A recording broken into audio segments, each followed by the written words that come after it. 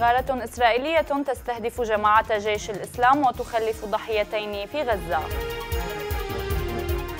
ستوكهولم تصدر مذكرة توقيف بحق مؤسس موقع ويكيليكس بتهمة الاغتصاب بعد سبع سنوات الصين تسجل أول إصابة بمرض إنفلونزا الطيور في إقليم هونغ كونغ.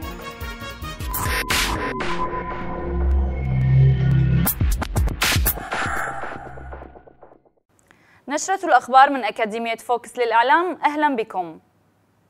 ارتفع عدد ضحايا الغارة الإسرائيلية التي استهدفت قطاع غزة يوم أمس إلى شخصين بينما وصل عدد الجرحى إلى ثلاثة. وذكرت مصادر أمنية فلسطينية أن الشقيقين محمد وإسلام ياسين لقيا حتفيهما عندما استهدف صاروخ إسرائيلي السيارة التي كانا يستقلانها وسط القطاع. من جانبه أكد الجيش الإسرائيلي نبأ شن الغارة. مشيرا إلى أنه استهدف مسؤولا في جماعة جيش الإسلام كان يخطط لخطف إسرائيليين في سيناء. اجتمع الشيخ محمد بن مبارك آل خليفة نائب رئيس الوزراء البحريني مع وزيرة الخارجية الأمريكية هيلاري كلينتون.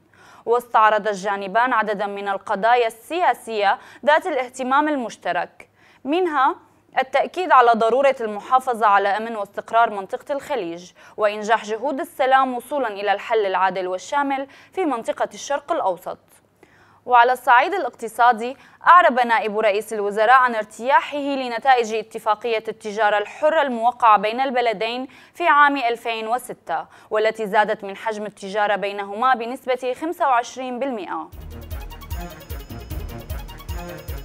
برأت محكمة مدنية أمريكية ساحة التنزاني أحمد خلفان غيلاني أول معتقل في سجن غوانتانامو يمثل أمام محكمة مدنية في الولايات المتحدة برأته من 285 تهمة من تهم الإرهاب الموجهة إليه حول الدور الذي لعبه في تفجير السفارتين الأمريكيتين في نيروبي ودار السلام عام 1998 ودانت المحكمة غيلاني البالغ من العمر 36 عاما بجريمة واحدة فقط هي جريمة التخطيط لتدمير أو إلحاق الضرر بالممتلكات الأمريكية باستخدام متفجرات بينما برأته من التهم الأخرى التي تشمل القتل والتخطيط لارتكاب جرائم قتل.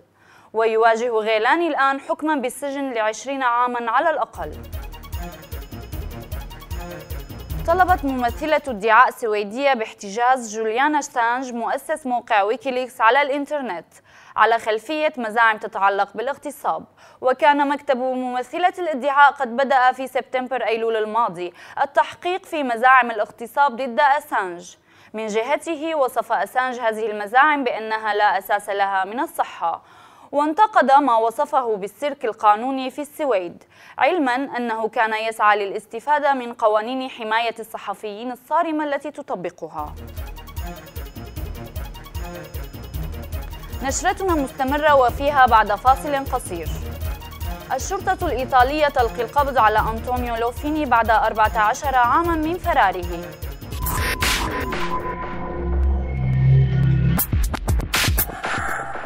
أهلا بكم من جديد. تمكنت الشرطة الإيطالية من إلقاء القبض على زعيم كبير للمافيا بعد أن ظل هاربا لمدة 14 عاما. واعتقلت الشرطة المتهم أنطونيو لوفيني الذي يعد من زعماء عصابات كامورا المشابهة للمافيا الصقلية في نابولي. لوفيني الذي يرد اسمه في قائمة تضم 30 من زعماء العصابات المطلوبين في إيطاليا يعتبر زعيم عائلة كاسالسي وكان مطلوبا منذ عام 1996 عندما أصدرت الشرطة مذكرة دولية باعتقاله.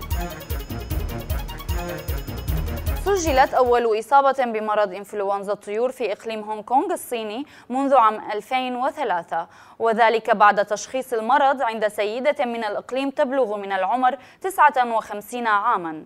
وأفاد مسؤولون صحيون بأن حالة السيدة تدهورت بعد وقت قليل من عودتها من زيارة للريف الصيني.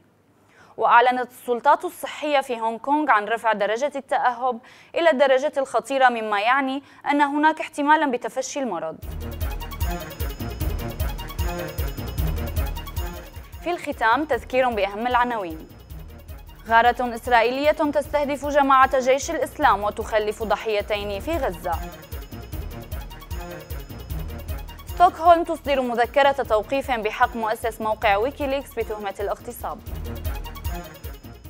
بهذا نكون قد وصلنا إلى نهاية نشرتنا. للمزيد من الأخبار يرجى زيارة موقعنا فوكس أكاديمي شكرا للمتابعة وإلى اللقاء.